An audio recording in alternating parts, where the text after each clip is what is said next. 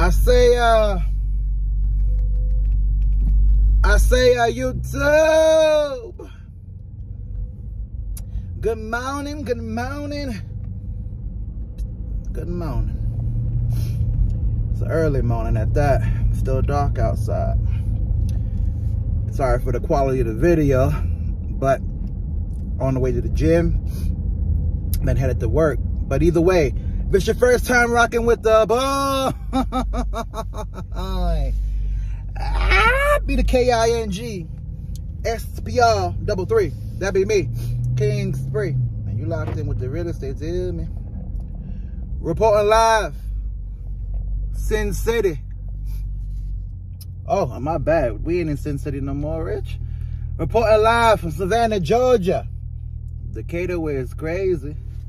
Or whatever Lloyd said.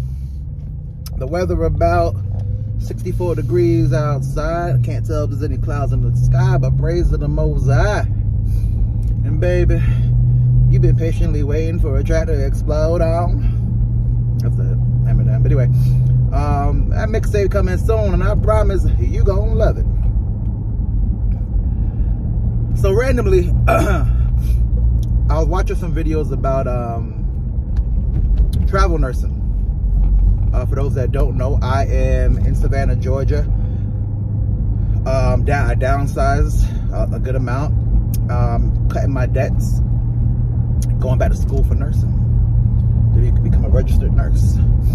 Um, and my plans are to do travel nursing for a while once I graduate, as well as move to Las Vegas, back to Las Vegas, and possibly California. I know I'll be working in California regardless. I just don't know if I'm going to live in California full time or live in Las Vegas and then travel back and forth to Cali. For those that are saying, "How? What are you talking about? That, that's a whole, the whole different state." There's ways to do it. But anyway, um, so I'm watching this video, and it's this dude. He's been a nurse for, and I forgot the name of the video, so I would say it, but this dude's been a nurse for about 14 years. Over the last five years, he's been doing travel contracts with his family. And he's been driving state to state in his RV, living in his RV, and essentially being able to uh, become debt free as well as live a very comfortable, if not beyond comfortable life, traveling state to state, picking up contracts, living in an RV. So that leads me to this. Two things really. Number one is let's talk about well, they both are centered around adaptability. If you can adapt, you are going to be somebody that's seen as more of a uh, asset to said company. Now, let's not get it twisted. The overall goal of the company, like I said in the other video, is to get as much work out of you as possible for as little as possible. So whether you're an asset or not, they're going to try to maneuver on you. But that's where your education has to come in. That's where you as a go-getter, you as a hustler, and you as somebody that's been through not just school and, and formal education, but somebody that understands how the game of the medical field or the game of um, basically supply and demand works, right? And that's where your business acumen has to come in. If you have it, if you don't have it, learn it. Um, not saying I'm Mr. Business, but you get my point. So he's been traveling around, living in an RV. Now, somebody used to work with lived in an RV as well. And when you think about the RV, you think of like trailer park trash. You think of like, uh, what was that show? Joe Dirt kind of uh, maneuvers or Joe Dirt kind of uh, situations. But there are many of people living in small houses or tiny houses. Many of people living in RVs. Many of people are living an untraditional route. And to be honest, the traditional route, man, it, it, not only does it cost too much, I'm not even sure if it's worth it in the long run. You got townhouses going for one, well, one million um, in Northern California. And in other places around around the country 400 500 600,000 for a townhouse to get an actual home with a little bit of land and you know the whole traditional white picket fence route. You know we talking about five six seven eight million plus. And that's not in california. In california we talk about a couple million. So is the traditional route for you and can you adapt to a new situation now i know everybody's gonna have different opinions on what you can and cannot do you got one life to live You can't let a day go by. You got to do what you got to do that's to be beneficial for you based on research, based on development, based on personality, based on circumstance, based on luck sometimes. Now I make I don't I don't shy away from the truth. I brought the channel out to be as truthful as possible about my experience. I moved from Las Vegas to living in a two bedroom apartment with my girlfriend, um, thinking about buying a home and, and planning for that. COVID happened, finances shifted, not in a good way, and as a result, I found myself in, in a little bit of debt. So my plan originally was to move to Savannah, Georgia to cut the cost of living down. Then I, the second idea was I, and I also could be around family. Then about a week into the idea, somebody at work was like, you should just live with your mom and go back to school.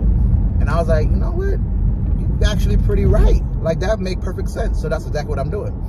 Um, and there's, I'll, I'll speak about another video, struggles that come with moving back in with your parents when you're an adult it's a it's a shift that like it's hard to deal with depending on your parents' personality, or in this case, my mom's personality.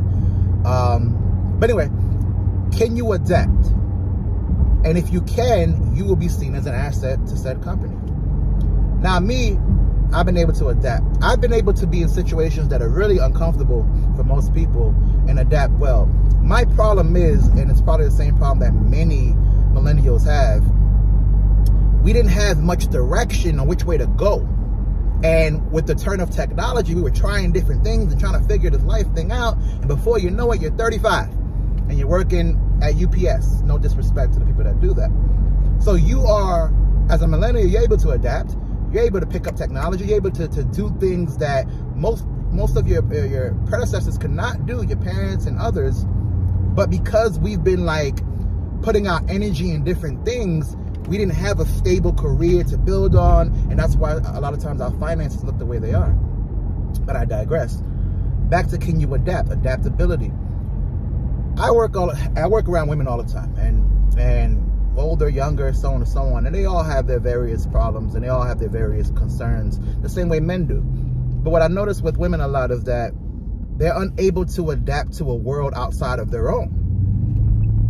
So the world they grew up in, the world that they're used to, where there's the boyfriend that likes them, so they cater, the husband cater, the dad cater, the uncle, brother, or potential suitors all cater, they don't really see a world where there's conflict. Then when they get into this medical profession and they got different personalities and different um, things they have to do and requirements and deadlines and this IV got to be done by this time and this drip and that, by before you know it, they're flustered every day. And they hate the profession because their inability to adapt. Now, that's not all women, but there's a lot of them. In fact, most of them. There's some guys that do that too. It's, it's more of a how you grew up thing than it is a, a gender thing, but it just happens to be that women uh, operate in such a way. But that's not to bash a woman. What I'm trying to say is one's ability to adapt is extremely important in the grand scheme of profitability, comfortability, as well as all the other abilities you can have.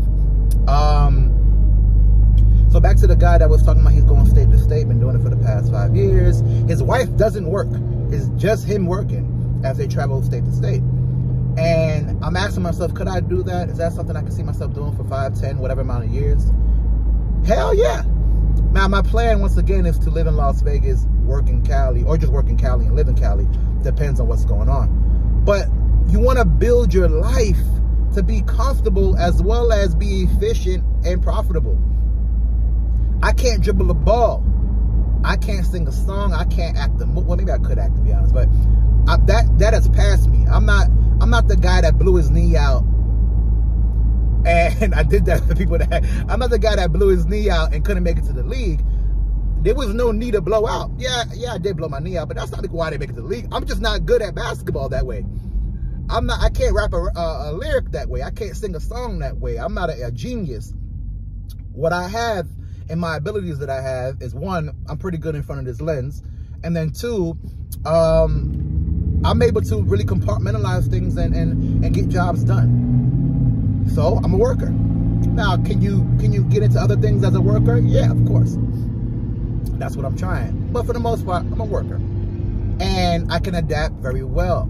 I can adapt very well. And the ones that can adapt are the ones that are going to see the profits. You might not be a billionaire off of adapting, though those guys adapt as well. But you can be somebody that's very successful in your community and in your family off just one's ability to adapt.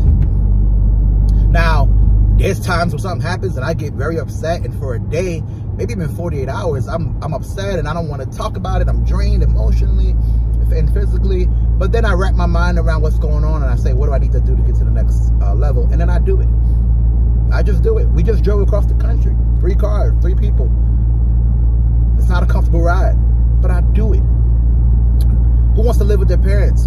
Nobody, but I do it. Who wants to be in situations where they're constantly having to worry about, damn, the money ain't right. And now I'm going to take even less money so I can try to build for the future? But I do it. Damn, I just spent 80 grand on a degree. Now I got to go back to school? But I do it. If you can adapt, you can succeed. You can adapt, you can be comfortable. You can adapt, you can see the profits and fruits of your labor. If you cannot adapt, and don't be, don't be um, naive to your ability to adapt. You're not the person that can adapt if every time there's any bit of conflict, the tire pops, the oil needs changing, gas in the car, um, landlord made new changes to your circumstance and your rent. The job says you have five patients instead of four, and you flustered. You can't, you can't, uh, then you're not the one that can adapt. That's not you. Now, that doesn't mean you be taken advantage of. There's a fine line between adapting and, and taking advantage of. But you also gotta, you have to adapt, man. Life won't always be comfort. Now, for the people that are drop dead gorgeous and they um, have assets physically, then they might be more comfortable than you and they might have to work as hard as you. But for the ones that really gotta get it out the mud, or in this case, get it out the scrubs, man, you gotta be able to adapt. Point blank, period. That's a fact. Hey, maybe I can rhyme a little bit. Anyway, like the video, subscribe to the channel, join the royal family. Like the video. This has been a message brought to you by the good people over here at Spree ENT. And it's gonna all make sense real soon.